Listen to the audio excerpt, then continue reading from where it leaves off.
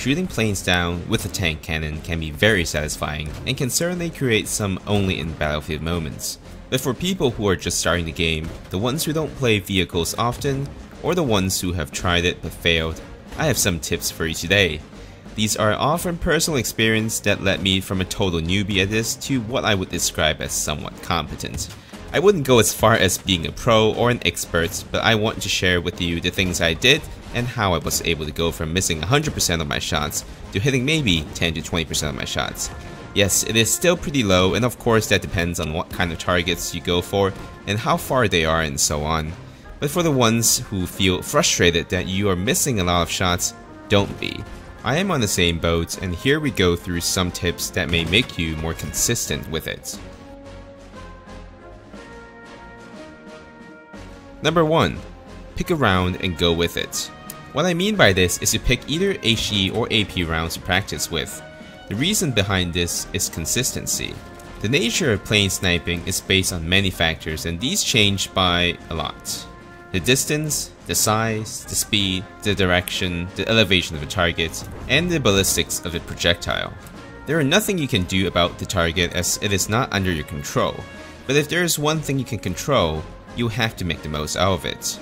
This is the same for bolt action sniping in the game. The more you use one rifle, the better you will be.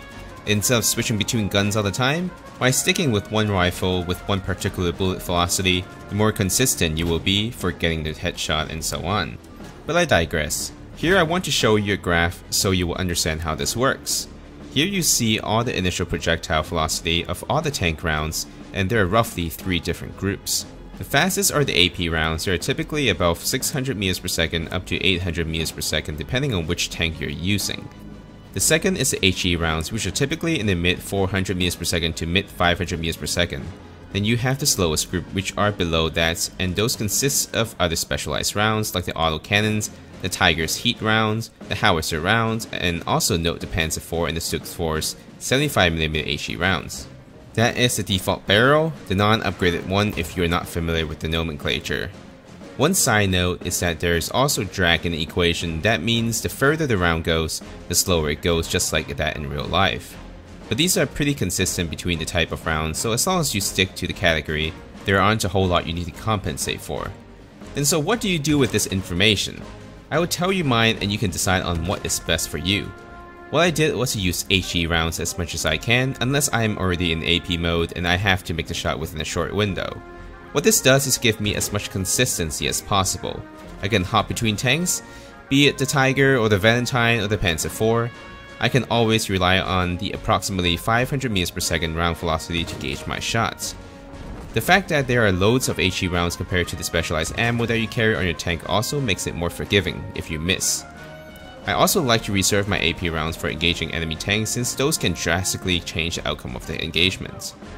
But if you want to use mainly AP rounds to engage enemy planes, that is totally fine. It is actually easier to use AP rounds since they travel faster which decreases the amount of target leading required. Of course, there are some exceptions. If you choose to use the Staghound with the Little John adapter, the HE and the AP rounds are almost identical in speed, which are 770 meters per second and 800 meters per second respectively, and those are the fastest rounds in the game. So by virtue of this, the Staghound is arguably the best tank to use to snipe planes out of the sky. And in contrast to the Staghound, the Panzer IV and the Stug 4's default barrel HE rounds act more like a howitzer round, and it is much harder to use than your other typical HE rounds due to their slow speed. So in conclusion to this section, pick a round you're comfortable with and stick to it for consistency. Number 2. Use the reticle mode, or zoom mode. This enables more tools you can employ when trying to hit a plane or any target for that matter. It also increases the responsiveness to sudden movements, at least that's true on PC.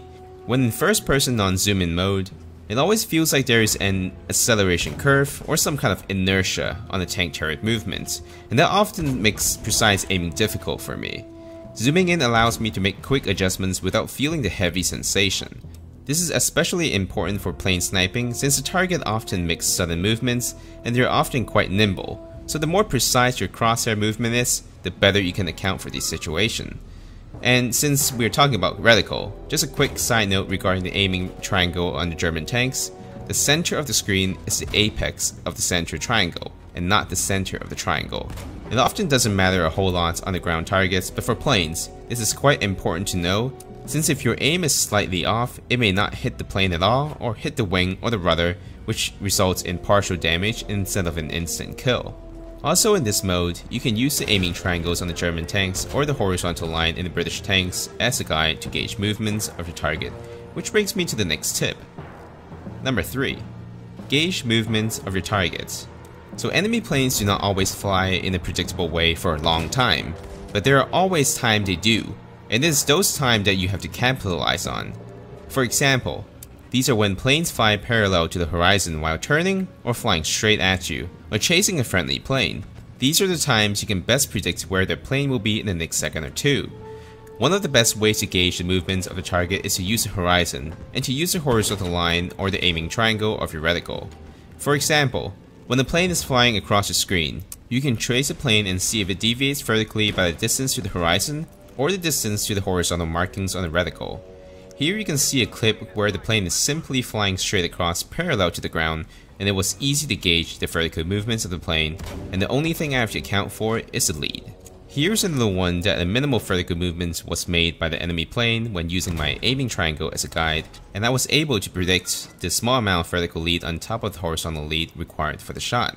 Other than using the horizontal lines on the reticle or the horizon, there are also other things you can use to predict the movements of the plane. One particularly common one is to trace around from the enemy planes themselves. These are particularly common when aiming at the enemy fighters chasing a friendly plane or when they are performing a strafing run on the ground targets. Here I will show you some clips where the enemy was firing their cannon and it makes a fantastic guide for you to aim at. And depending on the distance of the plane, you will probably need to aim slightly above the line to adjust for the gravitational force on your projectile. As for how much horizontal lead you will need to account for the speed of the plane when flying across your screen, that will depend on what plane it is, how far it is, how fast it is actually flying, and the type of round you're using. There are ways you can do in real life using stadiametric range finding and so on, but of course real life tanks rarely, if at all, try to hit planes. Nowadays, they all have computers to do the work, but that's besides the point. In this game when everything is manual, and often requires split-second decision on aiming, and then firing at a plane, there aren't a whole lot of calculation methods you can rely on for determining how much to lead. This is one of the things that is going to get cliche, and that is to practice often. But how, you say? Do I just keep shooting and what do I do? And here's the next tip. Number 4. Shoot often but start with easy targets. This seems like common sense, but it is how I started and made me better at it. Whenever there are easy targets, and those would be slow firing bombers flying straight at you, or flying parallel to the horizon across the screen, Basically targets that are mostly moving in one axis, especially the ones closer to you. By attempting to hit those planes over and over again, it will start to train your muscle memory. It also allows you to actually get some satisfaction from getting your first or second plane kills. But don't stop there. While moving across the map from point to point, I often keep my eye out for planes whether it is far or close. And if there is one, I will just quickly fire a shot off and see how close I get. The more shots you attempt, the more likely you're going to get closer with each shot. I can assure you that maybe 95% of them will miss, and that is still probably the case for me for random far shots I make when moving around the map, but that's okay. Every single one of those shots will bring you closer and prepare you for the shots that actually matter. But one thing for sure, don't just sit at the back of your map firing rounds after rounds at planes and don't actually help your team out by playing the game. It adds frustration when the team loses and you don't actually get the plane kills you want. I recommend doing that between objectives when you are otherwise just holding the forward button doing nothing. Capitalize that time and fire at will. But then you say, I just keep missing. There's no feedback to what I'm doing right or doing wrong. I don't know if I'm firing too soon, too late, too high, too low. What exactly am I doing wrong so I can actually improve? If you ask that, then you're one step closer to the goal. I will let you know what I did to get that feedback. This brings me to the next point. Number 5. Record your gameplay. If you're on PC, use whatever recording software you have like OBS, Shadowplay, Relive, anything. And if you're on console, use a capture card or simply a camera. As long as you can record something and watch it back, that is the goal. So how does this help? I started recording my gameplay for YouTube of course, but because of this, I was able to start rewatching my gameplay and go frame by frame on shots I thought I should have hit Often that tells me exactly what I did wrong. Here, I will show you an example. Here you can see that I clearly missed this plane, so I slowed it down. I will trace that round frame by frame and see where it is in relation to the enemy plane. Here you can see that the round is still visible as it crosses the plane. That means by the time the round should have intersected with the plane, it is actually still somewhere between me and the enemy. That means my lead is too short, and I have to lead further as the round did not have enough time to travel to the target. And by doing this over and over again, you will start to get the idea of what you are doing wrong. This is how soldiers or gun enthusiasts target train. It is by having a spotter or some kind of feedback method that let them know where they're hitting, and by how much adjust that make the next shot a better one. I wish I can tell you if it is a plane A flying right, you aim one triangle ahead of the plane, or if it is plane B flying up, you aim two triangles behind or whatnot. But there are simply too many variables with too little time for you to actually calculate before you can make the shot. It all comes down to practice and shooting on the fly. The more you do it, the more feedback you get, the better you will be and this video hopefully gives you some tools that will make you better at it. But hey, how about a bonus tip? You stay for this long so I have to give you something in return. While this is not something everyone can do, it is something you can try if you have the chance. It is to have a squad mate in a plane that you can communicate with. If they have a plane tailing them that they can't shake off, have them fly low towards you. They have a chance to get the enemy off their tail and you have a shot at shooting a plane down.